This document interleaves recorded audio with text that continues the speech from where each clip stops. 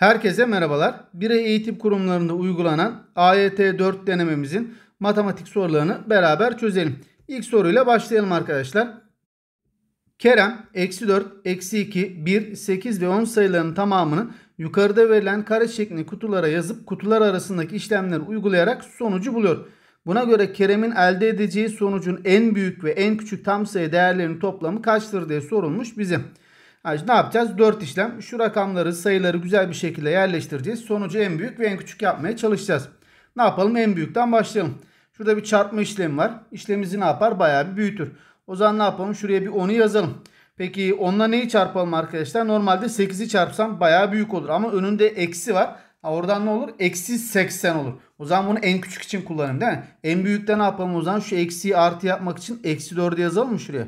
Ha böylece ne olur? Eksi eksi 4 artı 4 olur. Artı 4 ile de onu çarparsam 40 olur. Güzel. Peki devam edelim. Şurada bir 8'imiz var. Ha, onu da şuraya ekleyelim. Böylece ne olsun? 48 eklemiş oluruz. Ve eksi 2 ile 1 kaldı geri. E, bölü 1 dersek sonucumuz değişmez. Eksi 2'yi de buraya yazarsak artık ne yaparız? Maksimum yani en büyük değeri buluruz. Doğru mu? O zaman maksimum değer için ne geliyor şurası? Artı 4 çarpı 10 40 8 ekle 48 Şurası eksi 2. 48 eksi 2'den de sonuç kaç gelecek? 46. Sakın ha şurada gaza gelip de hocam 8, 4, 12 onunla çarptım 120 demeyin. Çünkü çarpma işleminin önceliği var. Öyle değil mi? Evet maksimum değeri bulduk. Şimdi minimum değere bakalım arkadaşlar. Bakalım minimum değer ne gelecek? Hemen onu da şöyle kırmızıyla yapalım. Gene şuraya onu yazalım. Demin dediğim gibi buraya da 8 yazayım ki eksi 8 10 çarp eksi 80. Bayağı bir küçük oldu değil mi?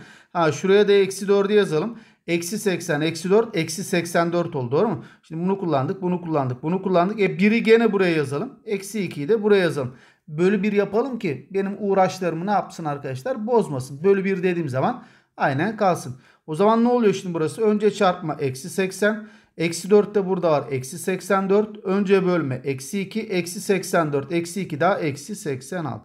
Ha, minimum değerde ne geldi? Eksi 86 mı? E, toplamını istiyor bizden. Toplarsak eksi 40. Aradığımız cevap A şıkkı.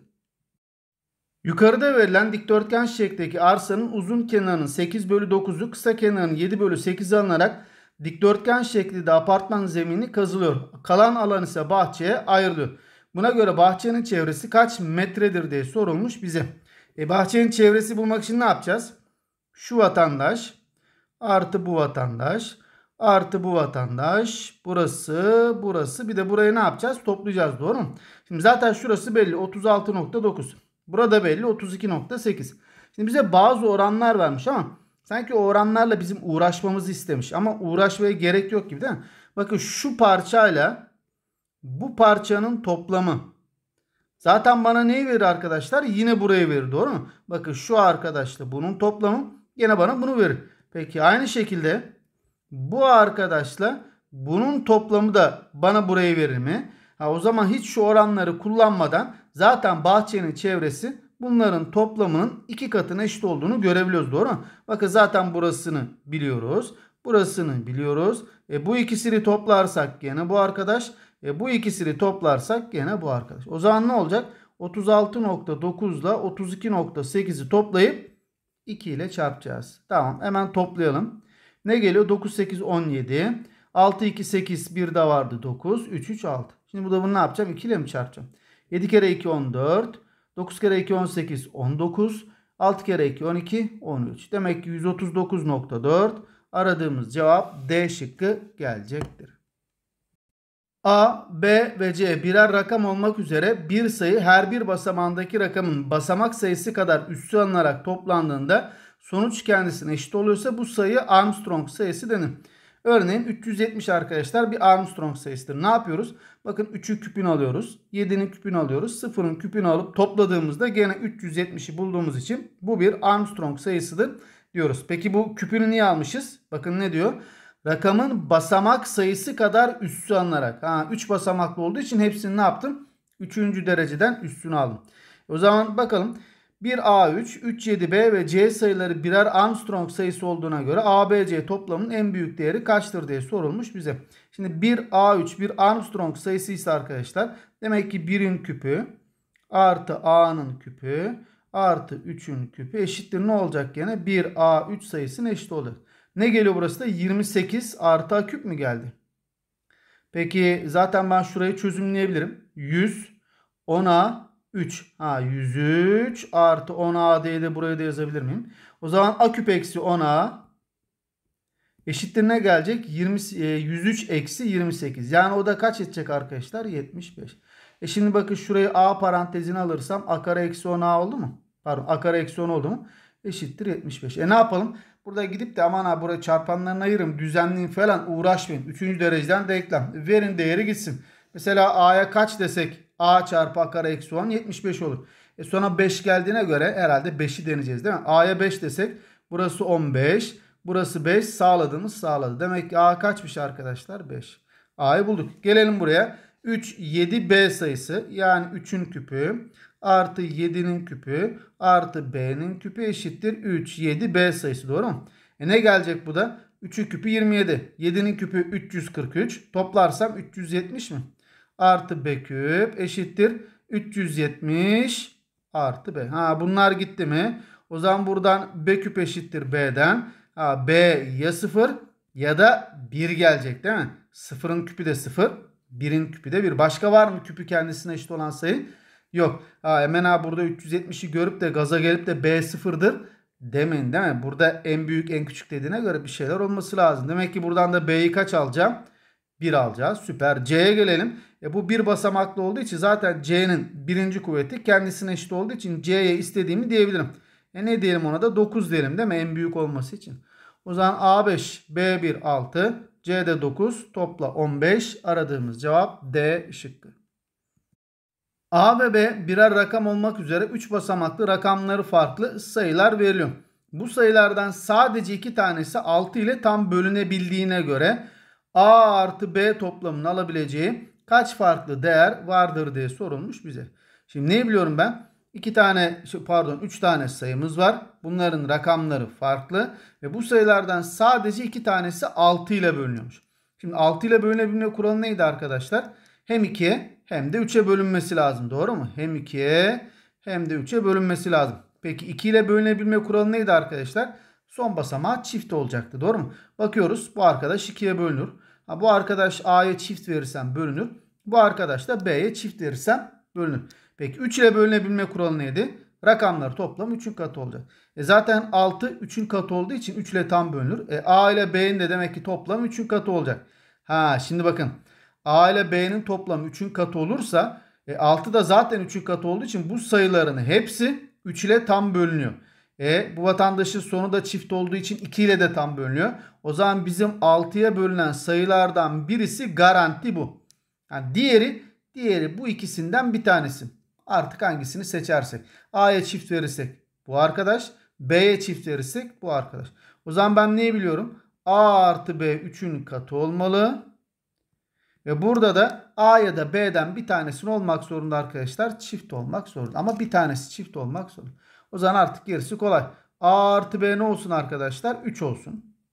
A artı B 6 olsun. Ne yapayım? 3'ün katlarına bakıyorum değil mi? A artı B 9 olsun. A artı B arkadaşlar kaç olabilir başka? 12 olabilir. A artı B 15 olabilir. Ve son olarak A artı B 18 olabilir.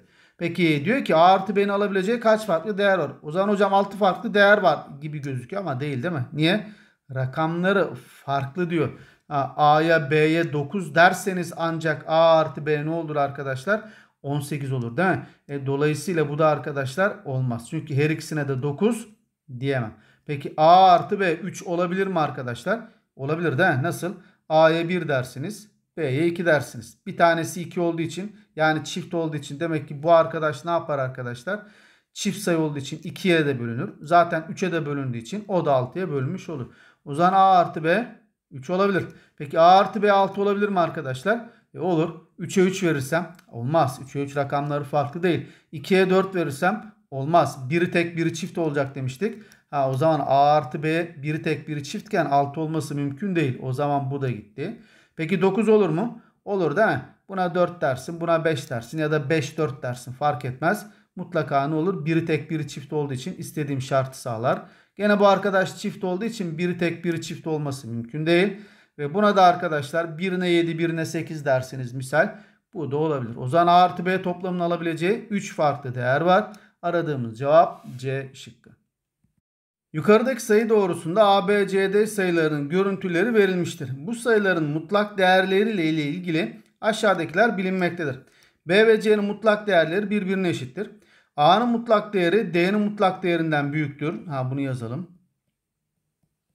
Hatta diğerini de yazalım. Mutlak B mutlak C'ye eşittir. Tamam. Mutlak A eşittir. Mutlak B artı 3'müş. Harika. Buna göre ifadelerinden hangileri doğrudur diye sorulmuş bize. Şimdi mutlak değer B, mutlak değer C'ye eşitse ya B C'ye eşittir değil mi? Ya da bunlardan bir tanesi diğerinin eksilisine eşittir. Eksi B C'ye eşittir ya da B eksi C'ye eşittir. Şimdi şurada bir sayı doğrusu var. E gidip de B burada C buradayken B'nin C'ye eşit olması mümkün değil. Ha, o zaman eksi B C'ye eşit olacak. Neden? Çünkü B negatif olacak ki C pozitif olsun. Bu şekilde sıralamada sağlansın ve mutlaklarını aldığımda da birbirine eşit olsun. Misal ne gibi? İşte eksi 3'e 3 gibi. Eksi 2'ye 2 gibi. Eksi 1'e 1 gibi. Burayı hallettik. Tamam. Şimdi diyor ki mutlak değer A mutlak değer B artı 3'e eşittir demiş. Ha şimdi mesela B'ye biz eksi 3 dedik ya misal örnek olarak. Mutlak değerini alırsak 3 3 3 daha 6 olacak. Ha o zaman bizim A'mız da ne olacak arkadaşlar? Mutlak değer A 6 ise A ya 6 ya da eksi 6 olacak. E, baktığımızda sayı doğrusu B'nin sonunda olduğu için A demek ki ne olacak? Eksi olacak. Ha, o zaman buna da mesela eksi 6 diyebiliriz. Şu an bu sayıları bir örnek olması için zihnimde canlanması için veriyorum. Tamam bunu da hallettik. Gelelim D'ye. Mutlaka mutlak değer D'den daha büyükmüş. Ha, o zaman bunun mutlağı 6 olur. Demek ki D'nin mutlağı daha büyükse D ne olacak? 6'dan büyük olacak. Mesela 7, 8, 9, 10 gibi ya da 6,5 gibi. İlla tam sayı olmak zorunda da değil. Öyle bir şey demiyor değil mi? Buna göre ifadelerinden hangileri doğrudur demiş. Artık bu sayılara göre ifadelere bakalım. D'nin mutlak değeri B'nin mutlak değerinden büyüktür demiş. Evet neden? Çünkü zaten pozitif olarak A'dan büyük olduğu için mutlak değerce otomatikman ne olacak arkadaşlar? Ha şurayı ters yazdım. Özür dilerim. Mutlak değer A mutlak değer D'den büyüktü değil mi? Eksi 6'nın mutlak değeri 6. O zaman büyük geleceğine göre mesela bu 5 olabilir. 4 olabilir. 3 olabilir gibi. Hemen orayı düzeltelim. 3 olamaz ama C'den büyük olacağı için. Ha, o zaman ne diyor? Mutlak değer D mutlak değer B'den büyüktür demiş. Ha, bakın buradaki sayıya göre ne oldu arkadaşlar? Doğru oldu değil mi? Çünkü mutlak değer D 5. Mutlak değer B 3. 5 3'ten büyüktür. Hocam başka bir şey olamaz mıydı? Mesela ne olabilirdi arkadaşlar? D'ye 4 de diyebilirdim değil mi? Çünkü mutlaka mutlak D'den büyük olacak ya 4 de diyebilirdim. Ama 4 de desem sonuçta ne oluyordu arkadaşlar? B'den büyük oldu. Hocam 3 desek diyemeyiz çünkü C'den büyük olacağı için. Ha, o zaman bu arkadaş ne olacak arkadaşlar? Verdiğimiz değere göre doğru olacak. Süper. 2'ye bakalım. Mutlak değer C artı 3 mutlak değer D'ye eşittir demiş. Hemen bakalım büyüktür demiş. Ha, ben bunun mutlağını aldığım zaman ne oluyor arkadaşlar? 3 oluyor. 3 ile topla 6. D'nin mutlağı da 4. 6 4'ten büyük. Doğru mu? Doğru. E hocam şu 5 olabilirdi. Değil mi? Mutlak değer 6'dan küçük olacağı için eksi 6'dan. E onu da versek gene sağlıyor. Hocam 6 versek 6 e, veremiyoruz. Çünkü mutlak değer eksi 6'dan küçük olmak zorunda. O zaman bu da ne oldu? Şartlara göre doğru oldu. Süper. Diyor ki dördünün toplamı negatiftir demiş. E bu da doğru. Zaten şu ikisini toplayınca birbirini ne yapıyor? Götürüyor. E, bu vatandaş da mutlak değerce bundan büyük olduğuna göre negatif olarak daima bundan büyük olmak zorunda. E, topladığımızda da eksi 6 artı 5 eksi geleceği için sıfırdan küçüktür. Bu da doğru. O zaman aradığımız cevap E şıkkı gelecektir. Şimdi kafanızı şu kurcalayabilir. Hocam siz 3 dediniz ona göre soruyu çözdünüz. E, ben 6 deseydim ben 2 deseydim o zaman ne olacaktı diye bir şey kafanıza takılabilir. Gayet haklısınız. Fakat sorunun köküne dikkat ederseniz aşağıdakilerden hangileri doğrudur diyor. Kesinlikle doğrudur diye bir vurgu yok. Şimdi kesinlikle doğrudur vurgusunu niye yaparlar?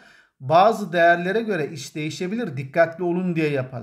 Fakat burada direkt doğrudur demiş. Ha, demek ki burada verdiğimiz sayılar çok da önemli değil. Yani şuradaki sayı ifadeleri biz sadece ifade olarak inceleseydik zaten bunların doğru olduğunu görürdük. Biz işi kolaylaştırmak için ne yaptık? Sayısal bir değer verdik ve bulduğumuz değerlere göre de ne yaptık? Direkt bu üçünün doğru olduğunu bulduk. Fazla da kurcalamadık. Çünkü sadece doğrudur demiş. Kesinlikle doğrudur dememiş. Onun için soru köklerine mutlaka dikkat edin. Mesela size derse ki x'in alabileceği kaç farklı değer vardır ve siz bir tane x bulsanız o zaman ne olacak? Sıkıntı lan bu kaç farklı dediğine göre demek ki başka şeyler var. Ya da x'in alabileceği farklı değerler toplamı kaçtır diyorsa gidip de siz bir tane bulursanız hemen ne yapın? Uyanın. Ya da diyorsa ki aşağıdakilerden hangisi daima yanlıştır ya da daima doğrudur.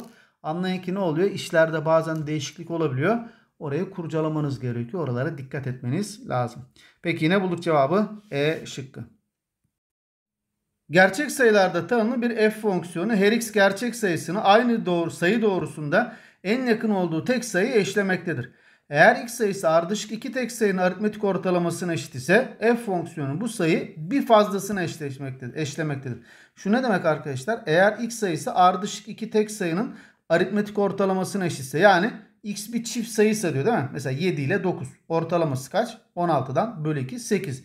Yani x sayısı eğer çiftse mesela 8 ise 8'e yakın ne var? Hem 7 var hem de 9 var. Neye alınıyor? Bir fazlasını alınıyor. Yani 8'in bir fazlası 9 alınıyor. O zaman şöyle yapacağız. fx ifadesini ne yapacağım ben? İnceleyeceğim değil mi? Nasıl inceleyeceğim arkadaşlar? Şöyle iki parça şeklinde. Diyeceğim ki x tekse ne olur? Pardon. x tekse ne olur? Bir de x çiftse ne olur? İki farklı şekilde ne yapacağım? İnceleyeceğim. Mesela x tek sayı olsun. Misal 7 olsun. O zaman f7'nin cevabı ne olacak? 7 olacak. Yani direkt kendisi olacak. Niçin? Çünkü 7'ye en yakın tek sayı kendisidir. 7'dir. O zaman x tekse cevap ne oluyor arkadaşlar? x oluyor. Peki. x çiftse ne olur cevap? Şimdi bir de ona bakalım. x çiftse mesela 8 olduğunu düşün. 8'e en yakın sayı. Bir 7 var bir de 9 var. Ne demiştik? Bir fazlasını alacaksınız. Yani 9 alacaksınız. O zaman kim alacağım arkadaşlar? x artı 1 alacağım. Ha, o zaman bu fx'in arkadaşlar tek olduğunda cevabının x, çift olduğunda da cevabın x artı 1 olduğunu biliyoruz. O zaman x tek için şu denklemi çözelim. x tek için. x tek için fx'in cevabı neydi? x'ti. Artı. Peki f x artı 1'in cevabı ne olur? Ha, hemen ona bakalım. Şimdi neyi biliyorum ben arkadaşlar? x tekse x artı 1 çift olur. Peki çift olunca da ne oluyordu arkadaşlar? Bir fazlasına gidiyorduk değil mi? O zaman buranın yani fx artı 1'in cevabı da ne olacak? x artı 2. E topla 18. 2x 16'dan x kaç gelecek arkadaşlar? 8 gelecek. Ha, biz x tek için cevabı ne bulduk arkadaşlar? 8 bulduk. Ha, şimdi devam edelim. Şimdi buradan bir aralık yakalayacağız galiba. x çift olsun. Bakalım ne olacak? x çift için ne oluyor? Bir de ona bakalım. Ne demiştik? x çift olursa cevap x artı 1 mi olur? Yani fx'in cevabı x artı 1. Artı peki fx artı 1'in cevabı ne olur? Ona bakalım. Mesela x 6 olsun. f6'nın cevabı için ne dedik? 7 olur dedik. Yani buraya geldim bir fazlası x artı 1'i yazdım. Peki x'e 6 verirsem burası kaç oluyor? 7. Ha o da da cevap neydi? Direkt kendisiydi. O zaman x artı 1 için de cevap gene ne olacak? x artı 1 oldu. Eşittir 18'den de x kaç gelecek arkadaşlar? 8 gelecek. Ha şimdi bakın yukarıda tek için de 8 bulmuştum. E çift için de kaç bulduk? 8 bulduk. O zaman şu manasız oldu. Niye? E, tek için 8 bulduk. E, hem x'e başta tek diyoruz hem de sonu çift çıkıyor. Olmaz değil mi? O zaman bu kısım manasız oldu. Şurası mantıklı oldu. Demek ki x çift bir sayısı arkadaşlar kaç olacak? 8 olacak. Peki 8 alacak mıyız? Evet alacağız. O zaman 8'i şöyle kapatalım. Şimdi bir aralık bulacağız ya. Bir üst sınıra bakalım. Kaça bakalım? 9'a. E, 9 için ne olacak cevap? Hemen bakalım. Yani 9 sağlıyor mu bu ifadeyi? Sağlamıyor mu? Onu kontrol edeceğim. X'e 9 verirsek. Şurası ne olur? F9. F9'un cevabı ne olur arkadaşlar? Tek olduğu için direkt kendisi yani 9 olur. Peki x'e 9 verirsek burası ne olur? 10 olur. Peki f10 onun cevabı ne olacak? 11 olacak değil mi? Ha, topladığımda kaç geliyor? 20. Halbuki denklemin cevabı kaçtı? 18. Ha, demek ki 9'u ne yapmayacağız arkadaşlar? Almayacağız. Dolayısıyla 9 ne olacak? Açık kalacak. Hocam peki aralık olduğunu nereden biliyorsunuz? E şimdi şurada yorumlama yapıyoruz ya biz. Bir 8 bir de 9. O aradaki kısımda ne olacak? Haliyle sağlayacak. Mesela deneyelim. 8.5'u deneyelim. Misal örnek. X'e 8.5 versek. F 8.5. 8.5'a en yakın tek sayı kaç arkadaşlar? 9. Artı x'e 8.5 verirsem burası kaç olur? 9.5. F 9.5. E 9.5'a en yakın tek sayı kaç? O da 9. E toplarsak gene 18 verdi mi? Ver. Hakikaten bu aradaki sayılar da ne yapıyor? Yine sağlı. O zaman aradığımız cevap ne gelecek? 8 kapalı, 9 açık aralığı. Yani cevabımız A şıkkı. Yukarıdaki şekilde f eksi 2gx ve 2f artı gx fonksiyonlarının grafikleri verilmiştir. f çarpı g3 eksi 3 olduğuna göre a kaçtır diye sorulmuş bize. Şimdi şu ifadeyi nasıl yazıyorduk hatırlayınız. 4 işlem yazıldığı zaman size ayrı ayrı yazabiliyordunuz değil mi? f3 çarpı g3 eşittir ne olacak arkadaşlar? Eksi 3'e. Peki şu ifadeleri de o zaman öyle yazalım. fx eksi 2gx değil mi? Ve diğeri de 2fx artı gx. Bu şekilde ne yapabiliyoruz? Yazabiliyoruz. Peki x'lerini 3 yazdığımızda cevap ne oluyormuş? A mı? O zaman x'lerini 3 yazarak açalım biz bunları. f3 eksi 2 tane g3 eşittir ne olacak cevabı A. Değil mi? Bu arkadaş için. Şimdi bu arkadaş için bakalım. 2 tane f3 artı g3. O da ne oluyor x'lerini 3 yazınca? Her ikisine de zaten a'yı gösterir. E ne yapalım buradan f3'ü g3'ü a türünden bulalım. Yukarıda yazıp soruyu bitirelim. Ne yapalım? Şunu 2 ile çarpıp taraf tarafa toplayalım mı? Ne oldu? 2G3 eksi 2G3 gitti. 4F3 bir F3 de burada vardı. 5F3 mü? Eşittir 3A'dan. Demek ki F3 neymiş arkadaşlar? 3A bölü 5. Geldik yazdık buraya. O zaman F3 3A bölü 5 ise gelelim hemen buraya yazalım. Buradan da G3'ü bulalım. Ne oldu? 3A bölü 5 eksi 2 tane G3 eşittir A mı? At bunu bu tarafa. Eksi A ne olur? Eksi 5A 3A eksi 2A bölü 5 eşittir 2G3'ten. Şunlar da giderse G3'te ne geldi arkadaşlar? Eksi A bölü 5. İşte bunların çarpımı kaça eşitmiş? Eksi 3'e. Tamam buradan artık A'yı buluruz. Şuradan eksiler gidiyor mu? Gitti. Peki şu 3'e de şu 3 gitti mi? Ha, A kare eşittir 25 mi geldi? A kare 25 ise demek ki A kaç gelecek? 5. Hocam eksi 5 de olmaz mı? Olur ama A buradan olur. Pozitif olur değil mi? Ha, demek ki A kaçmış? 5. Cevabımız E şıkkı. F'in tersi x artı 5 eşittir x artı 2 çarpı fx artı 8 olduğuna göre f'in tersi 3 kaçtır diye sorulmuş bize. Şimdi benden ne istiyor? F'in tersi 3'ü değil mi? E burada da tersi fonksiyonu var. O zaman x yerine eksi 2 yazalım. Ne oldu? Bakın x eksi 2 için. Burası f'in tersi 3 oldu. Yani merak ettiğimiz şey. Eşittir x yerine eksi 2 yazınca ha bakın burası gitti. 0 artı 8. Bizden istenilen de zaten bu. Cevabımız E şıkkı. F ve G doğrusal fonksiyonlardır. İfadeler verilmiş. Benden F çarpı G2 istiyor. Yani nasıl yazıyorduk onu? F2 çarpı G2 şeklinde 4 işlem böyle ayrı ayrı yazabiliyorduk. Bunu soruyor. Şimdi şu F bileşke Gx ne demekti? F'in içerisinde Gx yaz demekti. Doğru mu? Eşittir 2 tane Gx artı 1. Peki şu ne demekti arkadaşlar? G'nin içerisinde fx'i yaz demektir. O da neymiş? 4fx'e eşitmiş. şimdi şöyle bir şey yapsak. gx'e mesela m desem. Ben şuna m desem. O zaman burası da ne olacak arkadaşlar? m. Ha demek ki fm neye eşitmiş arkadaşlar? 2m artı 1'e. E, f doğrusal fonksiyon değil mi? O zaman şuradaki m gördüğünüz yere de x yazın. Ne fark edecek ki? fx eşittir 2x artı 1. Şunlar neydi arkadaşlar? Bu m'ler, x'ler birer değişken. İstediğinizi yazabilirdiniz. İşte ç yazın, d yazın, z yazın. Ne yazarsanız yazın. Ha fm eşittir 2m artı 1. Ha fx eşittir 2x artı 1. Mesela ben f2 mi istiyorum? E, m yerine 2 yazın. Ya da x yerine 2 yazın. Sonuçta ne yapacağınız? Aynı sonucu bulacaksınız. Demek ki f2 kaça eşitmiş arkadaşlar? 2 kere 2 4. Bir de burada vardı 5. Çarpı sırada ne var? g2.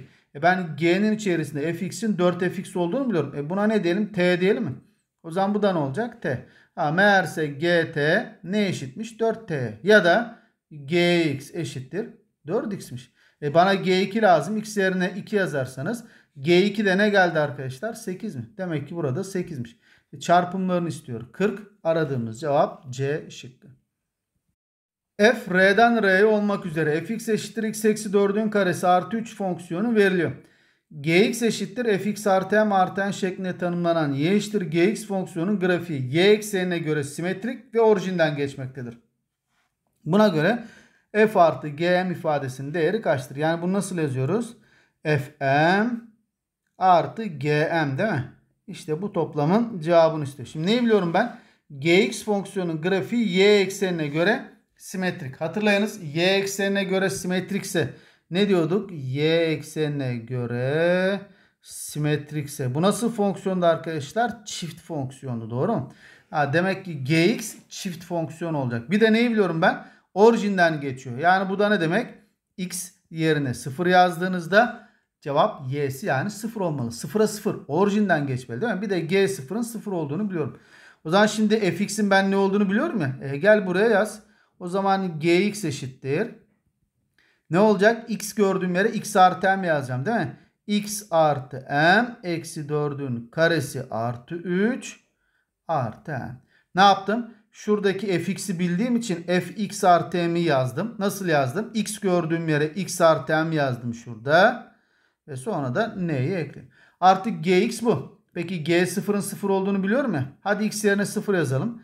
g sıfır eşittir. X yerine sıfır yazarsam m eksi 4'ün karesi artı 3 artı n eşittir. Ne olacak? 0 değil mi? G 0 0. Bu cepte. Bir de neyi biliyorum ben? Bu fonksiyon çift fonksiyon olacak. Doğru mu? Ha, o zaman bu vatandaş arkadaşlar çift fonksiyon olacaksa şu m'nin ne olması lazım? 4 olması lazım. Neden? Mesela m'nin 4 olmadığını düşünelim. Mesela 2 olsun. Ne olur orası? x eksi 2'nin karesi olur. Doğru mu? E, x eksi 2'nin karesine sakın ama sakın çift fonksiyon demin. E, hocam kuvveti 2 çift işte. Olur mu? Bunu açacağız değil mi? Ben bunu açarsam ne geliyor? x kare eksi 4 x artı 4 geliyor mu? E burada x'in üzerine 1 geldi. Yani ne oldu arkadaşlar? Tek kuvvet geldi. Çift fonksiyonda tek kuvvet olur mu? Olmaz. İşte onun olmaması için m'ye 4 demem lazım ki şunlar birbirini götürsün. x kare kalsın. Ha, demek ki arkadaşlar m kaça eşitmiş? 4'e. O zaman m 4'e eşitse arkadaşlar hemen burada yerine yaz. N'yi de bul. M yerine 4 yazarsam burası gitti mi? 3 artı n eşittir 0'dan. Meğerse n de kaçmış? Eksi 3'e. O zaman artık m belli. N belli. Soru bitti. Ben artık g fm artı gm'i bulabilirim. fm ne demek? f4. gm ne demek? g4. İşte bunları bulup yerine yazacağım. Hadi f4'ten başlayalım. f4 kolay. Hemen burada yazarsak. F4 ne geliyor? 0 artı 3'ten 3. f4'ü bulduk bakın. 3'e eşitmiş. Sırada ne var arkadaşlar? G4. Hemen onu da burada yazalım. X yerine 4 yazarsam G4 eşittir. F 4 artı M. E, M'i kaç bulmuştuk? Zaten 4 bulmuştuk. Artı N. N'i de kaç bulmuştuk? Eksi 3. O zaman G4 dediğimiz şey meğerse F8 artı eksi 3'ten yani F8 eksi 3'e mi eşitmiş? F8'i bulalım. Hemen burada x yerine 8 yazalım. 8 eksi 4. 4 4'ün karesi. 16 3 ekli 19 mu? O zaman 19 eksi 3'ten o da ne geldi? 16. Ha, G4 16'ymış. F4 3'müş. Toplarsak 19. Cevabımız D şıkkı. Baş katsayısı pozitif olan bir px polinomu için şöyle bir eşitlik verilmiş. Buna göre x artı 2 çarpı px eksi 2 polinomunun x kare ile bölümünden elde edilen bölümü istiyor bizden. Şurada önce bir işler dışlar yapalım mı? Ne göre bakalım. px eksi 2 çarpı px artı 2. Değil mi? Eşittir. x artı 4 ile de x'i çarparsak x çarpı x artı 4. Şöyle bir dursun bakalım. Soru olmadı çarparız. Şimdi burada eşlenik var görüyorsunuz değil mi? 2 kare farkı px eksi 2 px artı 2 çarparsam ne olacak? p kare x eksi 2'nin karesi 4 olacak değil mi? Hadi şurayı da açalım. x kare artı 4x. Ha bunu bu tarafa atın. Demek ki buradan p kare x eşittir. x kare artı 4x artı 4 geldi mi? Ha, buradan da bakın p kare x'i bulduk. x artı 2'nin karesi. O zaman her tarafın kare kökünü alırsak px ne olur? x artı 2. Hocam px bir de eksil olmaz mı? Eksi x eksi 2 olur ama ne diyor? Baş katsayısı pozitif dediği için px ne oldu? x artı 2 olarak bulduk direkt. O zaman px x artı 2 ise px eksi 2'yi de bulabilirim ben. x artı 2 çarpı px neydi? x artı 2. x gördüğüm yere x eksi 2 yazarsam 2'ler gider çarpı x mi kalır? İşte bu polinomun x kare ile bölümünden bölümü istiyor değil mi? O zaman hemen x kareye bölelim ve sonucu bulalım. Şu x artı 2 çarpı x ne demek arkadaşlar? x kare artı 2 x mi demek? Ne yapıyoruz? Böleceğiz değil mi? Nasıl bölüyorduk arkadaşlar? x kare x kareye böldüm bir kere mi? x kare sonrasına gerek yok zaten. Neden? 2x'te x kare olmayacağı için işte bölüm 1. Şuradan sonrası artık kalanı bulmak için. E bize kalan lazım değil. Bize bölüm lazım. O da 1'miş. Cevabımız C şıkkı. Gerçek katsayılı ve baş katsayısı 1 olan 5. dereceden bir px polinomu her x gerçek sayısı için eşitliğini sağlamaktadır. Ha, bu eşitlik neydi hatırlıyorsanız tek fonksiyon eşitliği doğru mu?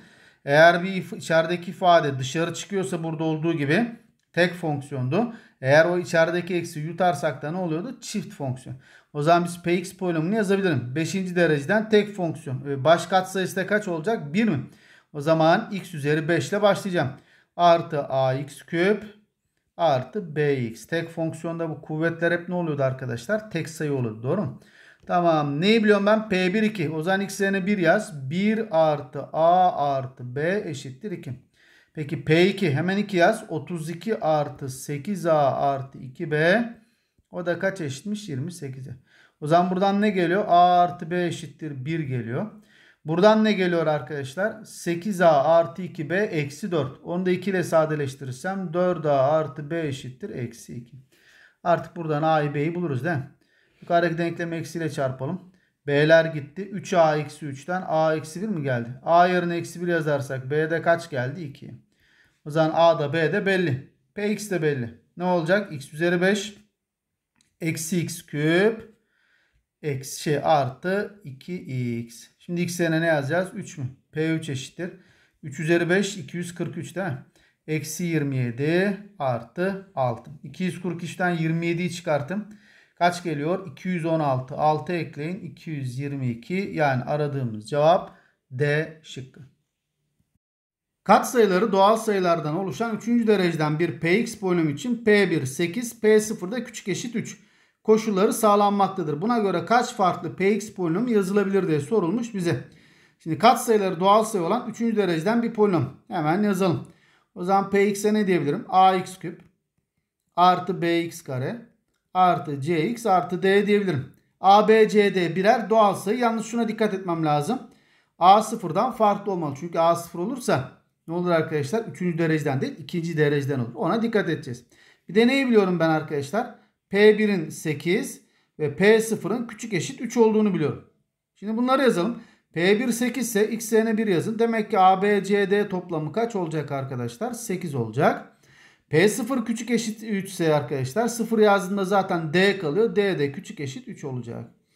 E tamam şimdi ne yapacağım? Bu şarta uygun A, B, C, D sayılarını ayarlamaya çalışacağım. Neyi biliyorum? D küçük eşit 3. O zaman D'ye 3 için bir bakalım. D3 olsa ne olur? D2 olsa ne olur? D1 olsa ne olur? Ve son olarak D0 olsa ne olur? Şimdi D3 olsa ne olur? ABC toplam 5 olur. Doğru mu? Şimdi burada artık kombinasyona geçeceğim. Hatta permütasyona geçeceğim. Hatırlarsanız böyle bir tekrarlı permütasyon sıralaması vardı. Bu soruda onu kullanacağım. Şimdi ABC toplamı kaça eşit? 5'e. Ne yapıyorduk bu tip sorularda? Çubuk muhabbeti yapıyorduk. Hatırlıyor musunuz? 5 tane çubuk. Bunu da 3 parçaya ayıracağım için 2 virgül yazıyorduk. Şimdi ona geçmeden önce yalnız şuna dikkat etmem lazım. A sıfırdan farklı olmak zorundaydı. Doğru mu? O zaman A'nın içerisinde mutlaka bir 1 olmalı. Hocam 2 olmaz mı? Olur. 3 olmaz mı? Olur. Ama en az bir 1 olmalı. O zaman ne yapacağım? A'nın içerisindeki o 1'i garantilemek için oradan bir tane 1'i alalım. A, B, C'nin toplamını 5 değil kaç olarak kabul edelim arkadaşlar? 4 olarak. Buradaki sebep ne? Mesela burada A'ya 0, B'ye 2, C'ye 2 verdiğinizi düşünün bu eşitliği sağlamak için. Esasında işte orada A'ya 0 değil siz kaç diyorsunuz? 1 diyorsunuz. Çünkü o 1'i ben aldım garantiledim ya mantığı o. Mesela A'ya 3 dediniz, B'ye 1 dediniz, C'ye 0 dediniz. Esasında oradaki A 3 değil kaç oldu? 4 oldu. Çünkü o 1'i ben ne yaptım aldım? Garantiledim. Ha, buradaki amaç ne? A 0 olmasın. O 1'i almamın garantilememin sebebi bu. Şimdi ABC toplamı kaç olacak? 4 olacak. O zaman ben buradan şunu anlıyorum. Bana 4 tane çubuk lazım. 2 tane de virgül lazım. Hocam niye 2 virgül lazım? Bakın şurada göstereyim. 4 tane çubuğum var ya. 2 virgül koyarsam araya mesela bir virgül buraya bir virgül buraya koyarsam ne yapmış olurum? 3 parçaya ayırmış olurum. Bakın A1 oldu. B2 oldu. C'de 1 oldu arkadaşlar. Ama esasında A1 değil kaç oldu? 2 oldu. Bir tane cepte vardı ya. Ha o zaman 2 virgül kullanmamın sebebi de neymiş? 3 parçaya ayırmak için. Yani 3 parçaya ayırmak için kaç kere kesersiniz bir çubuğu? 2 kere değil mi? Öyle düşünebilirsin. Ha şimdi 4 çubuk 2 virgül kaç farklı şekilde sıralanır? E tekrarlı permütasyon. 6 tane arkadaş 6 faktöriyel. Yalnız 4'ü aynı 4 faktöriyel. ikisi aynı 2 faktöriyel. E bitti artık buraya hesaplayacağım. 6 faktöriyeli 6 çarpı 5 çarpı 4 faktöriyel diye yazabilir mi? 4 faktöriyele dokunmuyorum. 2 faktöriyel zaten 2. Bakın 4 faktöriyeller gitti. 6 kere 5 32'ye böl 15. Demek ki D3 olduğunda kaç farklı durum varmış arkadaşlar? 15 farklı durum var. Mantığı anladınız. Şimdi bir tık hızlanıyorum. D'ye 2 verirsek A artı B artı C toplamı normalde kaç olur? 6. Ama bir tane A'ya 1 verdim garantiledim. O zaman toplama ne diyeceğim? 5. Bu ne demek? 5 tane çubuk 2 tane virgülü sırala. Ha ne olacak? 7 faktöriyel 5 tane çubuk 5 faktöriyel 2 tane virgül 2 faktöriyel tekrarlı permütasyon. 7 faktöriyeli 7 çarpı 6 çarpı 5 faktöriyel ayırırım. 5 faktöriyeller gider. 7 kere 6 42 2'ye böl 21. Ha, demek ki buradan da kaç durum geldi? 21 durum. Demek ki D2 olduğunda da ne oldu? 21 tane durum varmış. Peki D1 olduğunda ne olur? ABC toplamı 7 olur. Bir tane biri aldım garantilemek için arkadaşlar 6 olur. 6 tane çubuk 1, 2, 3, 4, 5, 6. 2 tane virgül. 8 faktörel bölü 6 faktörel 2 faktörel. Ne gelecek o da? 8, 7, 6 faktöreller sadeleşti. 8 kere de 56 bölü 2'den 28 mi? Ha, demek ki D1 içinde kaç durum varmış? 28.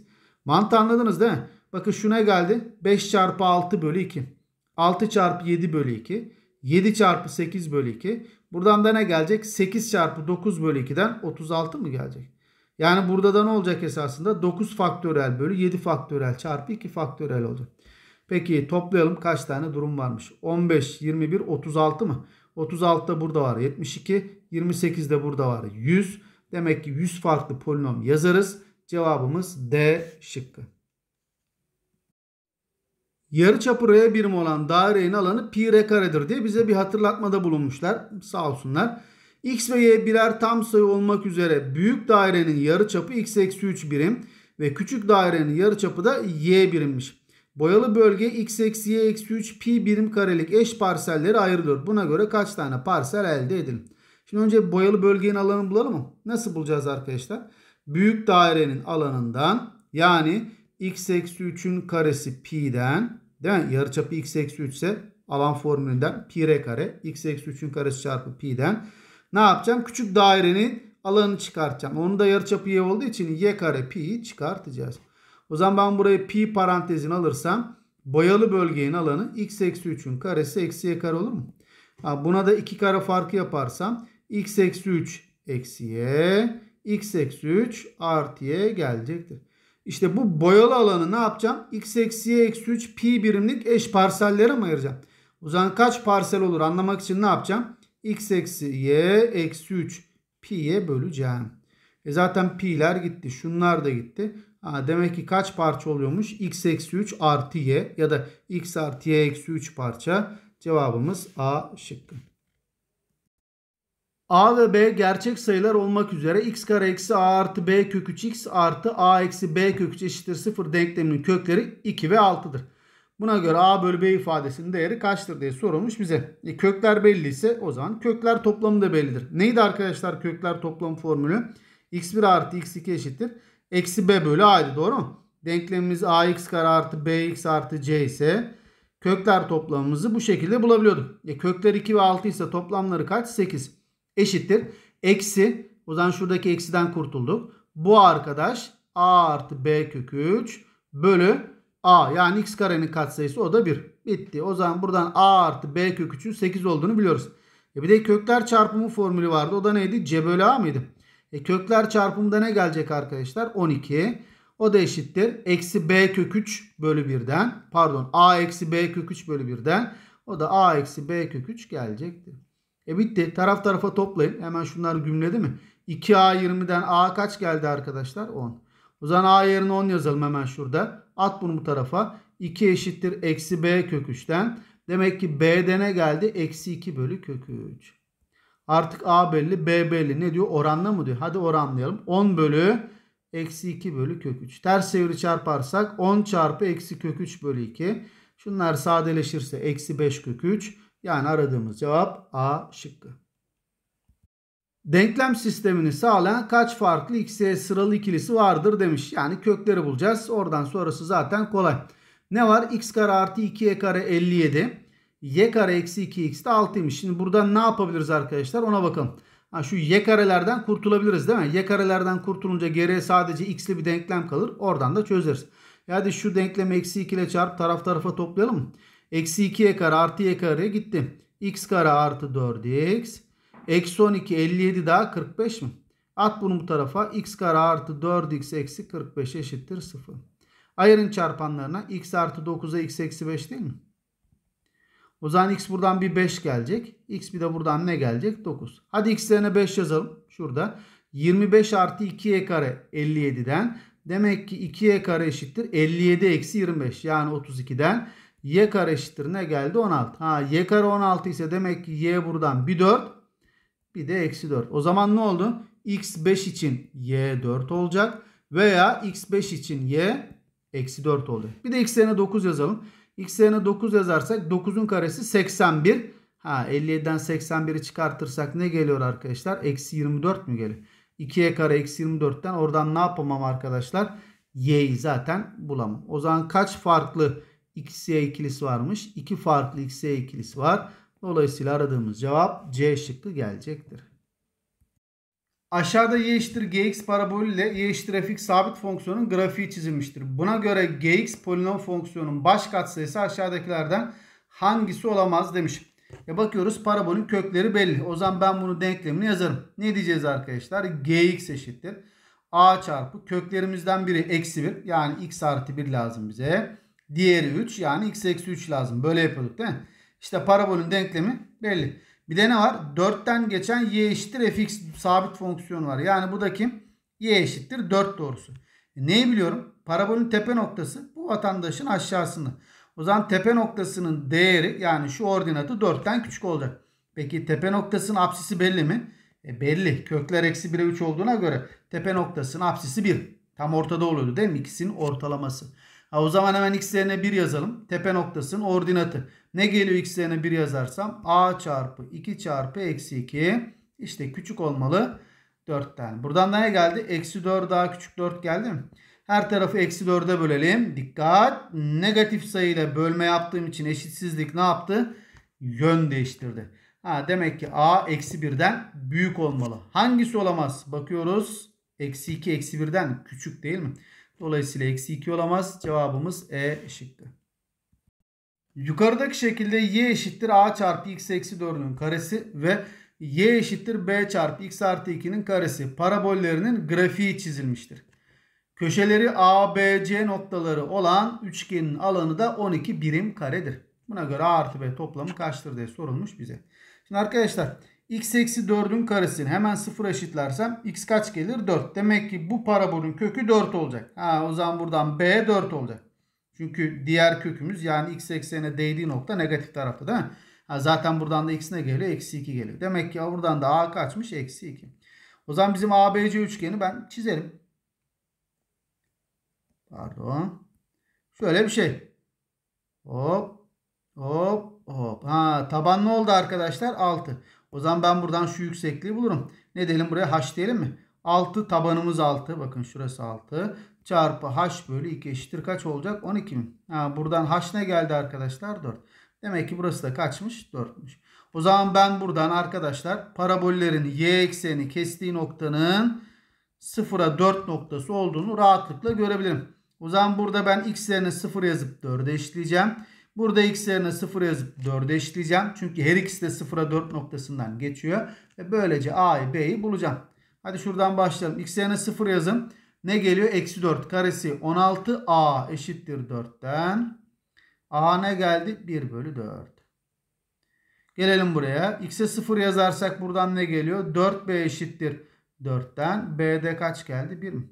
Neyi soruyor? A artı B. E topla 5 bölü 4. Cevabımız A şıkkı. Aşağıda y eşittir fx fonksiyonun grafiği çizilmiştir. x eksi 3 bölü fx büyük eşit 0 olduğuna göre x'in alabileceği kaç farklı pozitif tam sayı değeri vardır diye sorulmuş bize.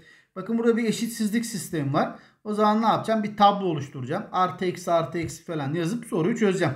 E, x eksi 3'ün kökü kaç arkadaşlar? 3. Hemen yazalım bunu buraya. Peki fx'in kökü kaç? Ha, parabolün köklerini vermiş değil mi? Grafikte eksi 2 ve 5 mi? O zaman şurası eksi 2. Burası da 5. Şimdi başlangıç işaretine bakalım. Bunun işareti artı. E dikkat edin parabolün kolları aşağı doğru. Demek ki onun önünde de ne var? Eksi değil mi? O zaman bunun da işareti eksi. Artıyı eksiye bölersem neyle başlayacağım? Eksiyle. Eksi, artı, eksi, artı. Peki ifadenin ne olmasını istiyoruz? Büyük eşit sıfır. Yani pozitifleri alacağım. Doğru mu? O zaman şu aralığı bir de bu aralığı alacağım. Yalnız dikkat edin. X'in alabileceği kaç farklı pozitif tam sayı değeri vardır diyor. Pozitif. O zaman bu aralık maalesef öldü. Eksi 2'den küçük pozitif bir sayı yok. O zaman buraya alacağım. Sınırları kontrol edelim. 3'ü alabilir miyim? 3'ü alabilirim. Neden? Çünkü x yerine 3 yazarsam pay 0 olur. 0'da neye bölerseniz bölün sonuç 0 gelir. F3'ün zaten ben pozitif olduğunu biliyorum mi? Şurada 3 desek mesela cevabı bir sayı sonuçta. 0 olmadığı sürece sıkıntı yok. O zaman 3'ü alıyorum. 4'ü zaten aralıkta olduğu için alıyorum. 5'i kontrol edelim. 5'i alabilir miyim? 5'i alamam. Neden? Çünkü F5 sıfıra eşit ve payda 0 olduğu için tanımsızlık olur. O zaman bizim alacağımız değerler 3 ve 4 olmak üzere iki farklı değer. Cevabımız B şıkkı. İki tane eşsizlik sistemi var. Bu sistem kullanılarak bir tablo oluşturulmuş. Buna göre aşağıdakilerden hangisi doğrudur demiş. Ne yapalım? Şu kökleri bir bulalım. Bakalım doğru bulmuşlar mı adamlar. Birinciden başlayalım. Eksi x artı 2 sıfır eşitlersem hemen şurada yazalım. x kaç gelir? 2 gelir. Demek ki kökümüz 2 olacak. Evet bakıyoruz. Normal kök olmuş. Sıkıntı yok. Aşağıya bakalım. x kare artı 5x artı 14. x kare artı 15x artı 14 eşittir 0. Bu da x artı 14'ü x artı 1 diye çarpanlarına ayrıldı. Doğru mu? Sıfırdan x bir eksi 14. x bir de kaç geldi? Eksi 1. Bakıyoruz. Eksi 14, eksi 1 ve köklerde normal kökler. Tamam sıkıntı yok. 2'ye bakalım. x kare eksi 9 eşittir sıfırdan. x bir 3 bir de eksi 3. Harika. Bir de eksi x kare artı x artı 12 eksi x kare artı x artı 12 eşittir 0. Şimdi şu x karenin önünde eksi varken ben çarpanlarını ayıramıyorum zorlanıyorum. Onun için önce bir eksiyle çarpıyorum. x kare eksi x eksi 12 eşittir 0 diyorum. Sonra çarpanlarını ayırıyorum. x eksi 4'e x artı 3. Aynı şey olacak nasıl değil mi? Buradan da x bir 4 gelecek. x bir de eksi 3 gelecek. Oo dikkat. Eksi 3 iki kere bulduğum için eksi 3 çift katlı kök. Ve 4 ile 3 de normal kök. Bakıyoruz. 4, 3. E, ha bakın. 3'ü ne yapmış arkadaşlar? Artı artı gitmiş. İşaret değiştirmemiş. Çift katlı kök diye işaretlemiş 3'e. 3 çift katlı kök değil ki. Eksi 3 çift katlı kök değil mi? Ha bakın eksi 3'te de artı eksi gitmiş. Normal gitmiş. O zaman bu adam ikinci eşitsizliğin köklerini yanlış bulmuş. Var mı öyle bir şey? İşte burada. İkinci eşitsizlikte kökler yanlış bulunmuştur diyor. Doğru. Neden? Bu vatandaş 3'ü çift katlı kök olarak bulmuş. Hayır 3 değil eksi 3 çift katlı kök olacak. Dolayısıyla kökler yanlış bulunmuştur ifadesi doğrudur. Bakalım diğerleri. Birinci eşsizlikte x2 kökü yanlış bulunmuştur. Hayır 2 var. Doğru yani bu. Tablo doğru yapılmıştır. E burası yanlış olunca dolayısıyla orası da yanlış oldu. Yani bu doğru dediklerim esas da yanlış. Birinci eşitlikle köklerden birisi 14 olmalıdır. Eksi 14 olmalı. Bu da yanlış. X eşittir eksi 3 eşitsizliğin çözüm kümesine dahil edilmelidir demiş. Eksi 3 arkadaşlar çift katlı kökümüz. O da nereden geliyor? Paydadan geliyor. E paydadaki kökü de ne yapamayız arkadaşlar? Çözüm kümesine dahil edemeyiz. Bu edilmelidir diyor. Bu da yanlış. Evet doğru olan şık B şıkkı. Yani aradığımız cevap B. Logaritma 7 A'ya eşit. Logaritma 3 de B'ye eşit. Buna göre 30 tabanında 60 ifadesinin A ve B cinsinden eşitim. Şimdi arkadaşlar harfli ifadelerde mutlaka harfli ifadelerin tabanıyla size sorulan sorunun tabanı aynı olmalı. Bakıyoruz bu 30'luk taban. Bunlarsa 10'luk taban değil mi? Ha, o zaman bunu ne yapacağım? 10'luk tabana çevireceğim. Nasıl? Logaritma 10 tabanında 63 bölü logaritma 10 tabanında 30 diye. Bu nereden çıktı hatırlıyorsunuz değil mi? Bakın şuraya bir hatır diyelim mi? Ne diyorduk? Logaritma x tabanında y ifadesini isterseniz logaritma a tabanında y bölü logaritma a tabanında x diye yazabiliyordunuz. O zaman burayı böyle yazdım. E peki şu 9 çarpı 7 mi? E çarpmayı toplamaya dağıtıyorduk hatırlıyorsunuz değil mi? Logaritma 9 artı logaritma 7. Artık 10 tabanı da yazmaya gerek yok değil mi? Bunu ne yapıyoruz? Normalde yazmıyoruz. Peki 30'da 10 çarpı 3 de yazalım. Logaritma 10 artı logaritma 3. Peki şu 9 3'ün karesi değil mi? O zaman onu şöyle yapalım. 9'u silelim. 3'ün karesi diyelim. O kareyi de ne yapalım? Başa atalım değil mi? Logaritmanın özelliği. Evet logaritma 3 neydi? B. O zaman burası ne oldu? 2B artı logaritma 7 A'ydı. Bölü 1 artı logaritma 3 B'ydi. O zaman aradığımız cevap 2b artı a bölü b artı 1 yani D şıkkı gelecektir. Birden farklı pozitif gerçek sayı olmak üzere bir denklem verilmiş. Bize x'in alabileceği farklı değerlerin çarpımı kaçtır diye sorulmuş. Şimdi bakıyoruz arkadaşlar tabanlar birbirinden farklı fakat şurası birazcık toparlanabilir doğru mu? O zaman ne yapalım? Şurayı bir toparlamaya çalışalım. Sol tarafa hiç dokunmuyorum. Logaritma 2 tabanında x eksi logaritma 2 tabanında 11 eşittir. Logaritma x tabanında 9. 9'u 3'ün karesi de yazalım. O kareyi de başa atalım. Çarpı logaritma 3 tabanında 7. Bakınız çarpım durumunda şunlar birbirini götürüyordu doğru mu? Böyle çaprazlama tabanla yukarıdaki aynıysa çarpım durumunda birbirini götürüyordu. O zaman ne oldu şimdi burası? Logaritma 2 tabanında x eksi logaritma 2 tabanında 11 eşittir. 2 tane logaritma x tabanında 7. Hatta şu 2'yi de buradan alalım. Şu 2'yi 7'nin üzerine koyalım. Ve böylece burası ne olsun? Logaritma x tabanında 7'nin karesi yani 49 olsun. Şimdi bana x lazım. Fakat x burada yukarıda. Burada tabanda. O zaman şunların hepsini bir tabanını değiştirelim. Ne yapalım? Hepsini bir onluk tabanda yazalım mı? O zaman ne olur? Şunu hatırlıyorsunuz değil mi? Bu arada buraya bir hatır diyelim. Şu logaritma a tabanında b'yi. Eğer c tabanında yazmak istiyorsak şöyle yazabiliyorduk değil mi? Logaritma c tabanında b bölü logaritma c tabanında a diye bu şekilde ne yapabiliyorduk? Yazabiliyorduk. O zaman bunları onluk tabana çevirelim. Logaritma 10 tabanında x bölü logaritma 10 tabanında 2 eksi logaritma 10 tabanında 11 logaritma 10 tabanında 2 sonra burası da ne oluyor? Logaritma 10 tabanında 49 bölü logaritma 10 tabanında x. Ha bakın log x'ler var görüyor musunuz? Hemen değişken değiştirelim. Log x'e ne diyelim? m diyelim. Ve ifadeyi düzenleyelim. Paydalar aynı. Paylar birbirinden çıkar. m eksi logaritma 11 bölü log 2 eşittir. Logaritma 49 bölü logaritma eksi ne demiştik? Mi? İçler dışlar yapalım. m kare eksi m çarpı logaritma 11 eşittir. Logaritma 2 çarpı logaritma 49. Bunu bu tarafa atarsak m kare eksi m logaritma 11 eşittir. Eksi bu tarafa atıyoruz dedik. Logaritma 2 çarpı logaritma 49. Eşittir ne olacak? 0 doğru mu? Şimdi burada dikkat ettiyseniz m'ye bağlı bir denklem oldu bakın. m kare eksi m çarpı logaritma 11 eksi logaritma 2 çarpı logaritma 49. O zaman m'ye bağlı ikinci dereceden bir denklem olduysa ben bunun kökler toplamını, kökler çarpımını bulabilirim. Şimdi kökler toplamına bakalım ne geliyor. m1 artı m2.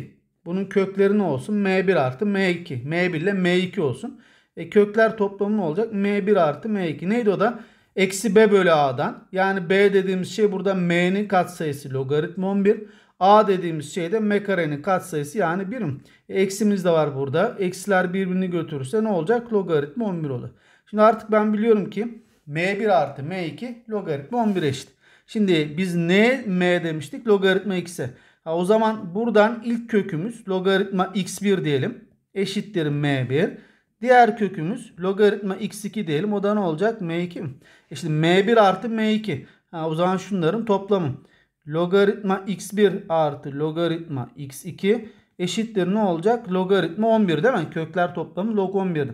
E hatırlayınız logaritma tabanlar aynıysa üstler toplanıyordu doğru mu? Yani logaritma özür dilerim çarpılıyordu. Logaritma x1 artı logaritma x2 ne eşit olacak? Logaritma x1 çarpı x2.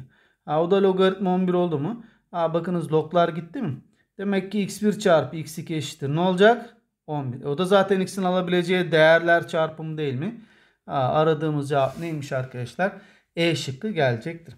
Birazcık zahmetli eziyet bir sırı soru. Yani böyle 10 üzerinden 8-9 puanlık bir soru. E, o da olacak böyle denemede arada birkaç tane çıkması gayet normaldir. O zaman aradığımız cevap ne diyoruz? 11 yani E şıkkı. Toplam sembolü 1'den 3'e kadar logaritma 2 üssü k tabanında x a'ya eşitmiş. Buna göre 1'den 3'e kadar logaritma x tabanında 2 üssü k ifadesinin a türünden eşitini istiyor. Ne yapalım? Şurada k yerine 1 yazarak şu ifadeyi bir düzenleyelim. Ne yapıyorduk? 1'den başlayıp 3'e kadar bütün tam sayıları k yerine yazıp bulduğumuz sonuçları topluyorduk değil mi? O zaman k yerine 1 yazarsam logaritma 2 tabanında x artı K yerine 2 yazarsam logaritma 2 üssü 2 4 oluyor değil mi? X artı ve son olarak 3 yazarsak logaritma 2 üzeri 3 8 tabanında x eşittir a'ymış. Peki bu cepte. Peki ne istiyor benden? Şu arkadaş. Hadi buna da bakalım. K yerine 1 yazarsak logaritma x tabanında 2. K yerine 2 yazarsak logaritma x tabanında 4. Ve son olarak 3 yazarsak logaritma x tabanında 2 üzeri 3 8. İşte benden bunun cevabını istiyor. Ne yapalım? Şurayı düzenleyelim değil mi arkadaşlar? Nasıl düzenleyebiliriz? Şu 4 dediğimiz şey ne arkadaşlar? 2'nin karesi değil mi? Ha, o kareyi başa atalım o zaman. Logaritma 2 tabanında x artı o kareyi başa atınca yalnız nasıl atıyorduk? 1 bölü 2 diye değil mi? Logaritma 2 tabanında x artı. E bu da 2'nin küpü. Küpü başa atalım ama nasıl atıyorduk? 1 bölü 3 diye değil mi? Logaritma 2 tabanında x eşittir a. Şimdi şu vatandaşları ne yapalım? Logaritma x parantezini alalım. O zaman logaritma 2 tabanında x geldi. Ne diyeceğiz? Parantez alınca 1 artı 1 bölü 2 artı 1 bölü 3. Ne yaptım? Şu arkadaşları ortak parantez aldık. Buradan ne geliyor? Eşittir a demiştik. Demek ki logaritma 2 tabanında x çarpı ne geliyor buraya toplarsak? Bunun altı bir gizli 1 var. 6 ile bunu 3 ile bunu da 2 ile payda eşleyeceğiz. 9 2 daha 11 bölü 10 şey 11 bölü 6 değil mi? O zaman buradan neyi anlıyoruz? Logaritma 2 tabanında x eşittir 6a bölü 11. Bu cepte. Şimdi bize sorulan ifadeyi de düzenleyelim. Buraya da gene ne yapalım? Şu kuvvetleri başa atalım. Logaritma x tabanında 2. Buna dokunmuyorum. Artı x tabanında 4. 4 2'nin karesi. 2'yi başa atarsak 2 logaritma x tabanında 2. 2'nin küpü 3'ü başa atarsak 3 çarpı logaritma x tabanında 2. 3 tane burada var. 2 tane de burada var. 5 tane bir de buradan geldi. 6 tane logaritma x tabanında 2'nin eşitini mi istiyorum? Peki 2 tabanında x 6a bölü 11 ise x tabanında 2 ne oluyordu arkadaşlar? 11 bölü 6a değil mi? Ha, o zaman bizim soru işaretinin cevabı çıktı. 6 çarpı 11 bölü 6a. 6'lar gitti. O da 11 bölü a. Yani aradığımız cevap D şıkkı gelecektir. Eşitsizliğin çözüm kümesini istiyor bizden. Ne yapacağız? Logaritma içerisinde ln x küçük eşit 1 mi? Şimdi şunun tabanı gizli bir onu değil mi? O zaman hemen şunu kaldıralım. Onu buraya atalım. ln x küçük eşit 10 üzeri 1'den ne olacak? 10 olacak. Peki şimdi ln ne demekti? Logaritma e tabanında x demekti. Doğru mu? O zaman gene logaritmayı kaldıralım. E'yi buraya atarsak demek ki x ne gelecek arkadaşlar? Küçük eşit e üzeri 10. Ha, demek ki arkadaşlar x ne olmak zorunda? e üzeri 10'dan küçük olmak zorunda. Bir de ben neyi biliyordum arkadaşlar? Logaritmalı ifadelerde içerideki arkadaş sıfırdan büyük olmalı değil mi? Yani şu ln x sıfırdan büyük olmalı. O mevzuyu hatırlıyorsunuz değil mi? Şuraya bir hatır diyelim? Ne demiştik? Logaritma a tabanında b'yi gördüğümüz zaman a sıfırdan büyük olacak. a birden farklı olacak. Bir de b sıfırdan büyük olacak diye size 3 tane şart vermiştik. O zaman buradaki içerideki ifade ln x sıfırdan büyük olmak zorunda. Ha, burada neydi? Logaritma e tabanı mıydı? Logaritma e tabanında x sıfırdan büyükse logaritmayı kaldır. Hop bunu buraya at. Demek ki x büyük olmalı e üzeri sıfır. Yani bütün sayıların sıfırıncı kuvvetleri neydi? 1 miydi? Ha, demek ki x birden de büyük olmalı. E, x bir de şu vatandaştan da küçük olacaktı. Demek ki bizim x'imiz birden büyük. E üzeri ondan da küçük olmak zorunda. Yani aradığımız cevap E şıkkı gelecektir. Yukarıda genel terimi verilen AN dizisi için bir ifade verilmiş. Onun değerini istiyor. Ne yapacağız? A5'i bulacağız değil mi? 6 çarpı A5. Peki A5'te n gördüğüm yere 5'i nerede yazacağım? Burada n tek dediği O zaman yazalım. 5'i karesi 25 bölü 5 bir daha 6. Eksi 7 çarpı A4. A4 için de bunu kullanacağım değil mi? 4 eksi 1 3 4 3 daha 7. 6'lar gitti geriye ne kaldı? 25 mi? 7'ler gitti geriye ne kaldı? 3. 25 eksi 3'ten aradığımız cevap 22. Yani C şıkkı gelecektir. AN aritmetik dizisinde A7 eksi 2A6 bölü A5 artı A6 eşittir 1 bölü 3 olduğuna göre dizinin ilk teriminin ortak farkın oranı kaçtır diye sorulmuş bize. Şimdi arkadaşlar hatırlarsanız bir aritmetik dizide bütün terimleri istediğimiz terim türünden yazabiliyorduk. Neydi bunun için de kullanacağımız formül? AN eşittir A1 artı n-1 çarpı D'ydi doğru mu? Buradaki D dediğimiz şey neydi arkadaşlar? Ortak fark idi. O zaman hepsini ne yapabiliriz? İstersek A1 türünden yazabiliriz. Ya da isterseniz hepsini buradaki en küçük eleman A5 türünden de yazabilirsiniz. Fakat dizinin ilk terimini sorduğu için belli ki onu kullanacağız. O zaman hepsini ne yapalım? A1 türünden yazalım. Oradan bir şeyler yakalamaya çalışalım. O zaman ben n yerine 7 yazarsam bu formülü kullanarak şurada bir kere gösterelim. Sonra diğerlerini direkt yazalım. n yerine 7 yazarsam a7 eşittir. a1 artı 7 eksi 1 6d olacaktır. Ha, bu şekilde ne yapabilir yaptık arkadaşlar? a7'yi a1 türünden yazdık. O zaman yazalım. a7 yerine ne yazacağım? a1 artı 6d eksi 2 tane. a6 yerine ne yazacağım o zaman? a1 artı 5d bölü A5 yerine A1 artı 4D artı A6 yerine gene A1 artı 5D'yi yazıyorum. Eşittir kaçmış? 1 bölü 3. Şimdi burayı düzenleyelim arkadaşlar. A1 artı 6D eksi 2'yi dağıtırsam eksi 2 A1. Ha, artı A1 vardı eksi A1 oldu mu? E, eksi 10D artı 6D eksi 4D. Bölü aşağısı ne oluyor? 2A1 artı 9D eşittir 1 bölü 3. İşler dışlar yapalım. Şurayı temizleyelim artık. Eksi 3A1 eksi 12D eşittir 2A1 artı 9D. E bu yavruyu bu tarafa atarsak 21D. Bunu bu tarafa atarsak da eksi 5A1 mi? Ha benden ne istiyordu? İlk terimin yani A1'in ortak farkı oranı yani A1 bölü D'yi mi istiyor? O zaman eksi 5'i diğer tarafa atarsak 21 bölü eksi 5 aradığımız cevap A şıkkı gelecektir. Aşağıdaki kutuların içine soldan sağa doğru bir geometrik dizinin tam sayı olan ilk 5 terimi yazılmıştır. Buna göre ABC toplamı ifadelerinden hangilerine eşit olabilir diye sorulmuş bize. Şimdi burada bir geometrik dizi varmış. Demek ki bir ortak çarpan R belirleyerek bütün terimleri ne yapabiliriz bulabiliriz değil mi? Mesela ilk terimiz 2x olsun. O zaman ben bunu R ile çarparak B'yi, bulduğum sonucu R ile çarparak A'yı, Sonra bir daha bulduğum sonucu R ile çarparak 144 bölü x'i bulabilirim. O zaman ben 2x'i gelir R küple çarparsam direkt kimi bulurum arkadaşlar? 144 bölü x'i bulabiliriz öyle değil mi? Hemen sadeleştirelim şurayı ne kaldı? 72. İçler dışlar yaparsak arkadaşlar R, e, R küp eşittir. 72 bölü x kare gelecektir. Ha şimdi burada ben neye dikkat ediyorum? Terimler tam sayı olacak. O zaman değer verelim. Mesela x'e 1 versem 1'in karesi 1. 72'yi 1'e böl. 72 r küp 72'den r'yi bulamam.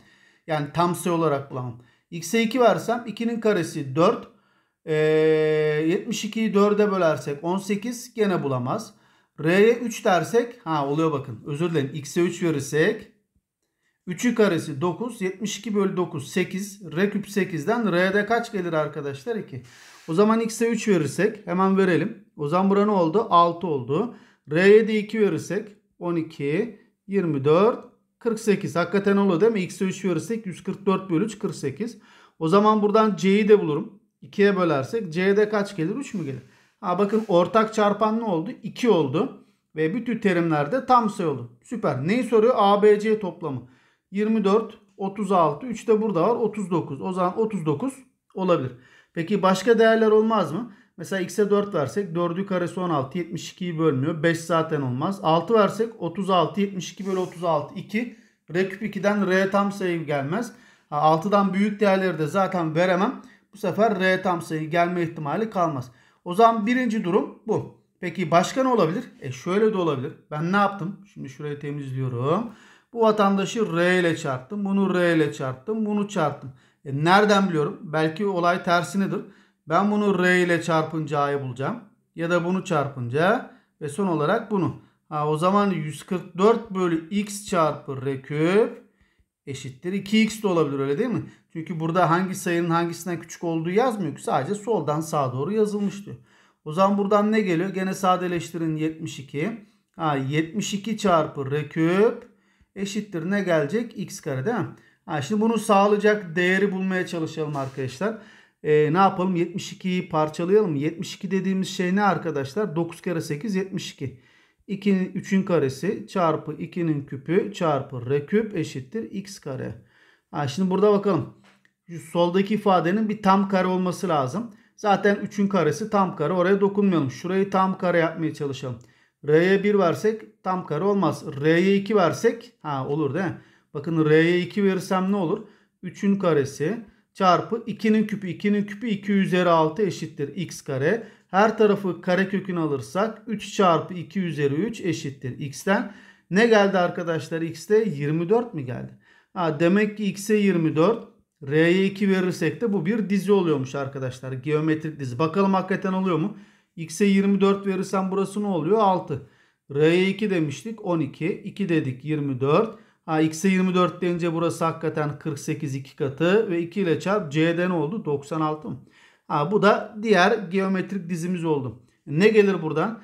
12, 36, 96 daha 132 de olur değil mi? 39 olur demiştik biraz önce. 132 de oluyor. E başka da bir ihtimal kalmadı zaten. Burada zaten değer vermeye devam ederseniz R'yi X'i tam sayı yapacak başka bir değer olmadığında görürsünüz. O zaman demek ki 94 maalesef olmuyor. Aradığımız cevap ne gelecek o zaman? 39, 132 yani 1 ve 3 cevabımız C şıktı. Evet bu soruyla beraber AYT 4 denememizin arkadaşlar matematik sorularını da çözmüş bulunmaktayız. Umarım çözemediğiniz soruları dinlediğinizde faydasını görmüşsünüzdür. Bir sonraki videoda görüşmek üzere. Kendinize çok iyi bakın.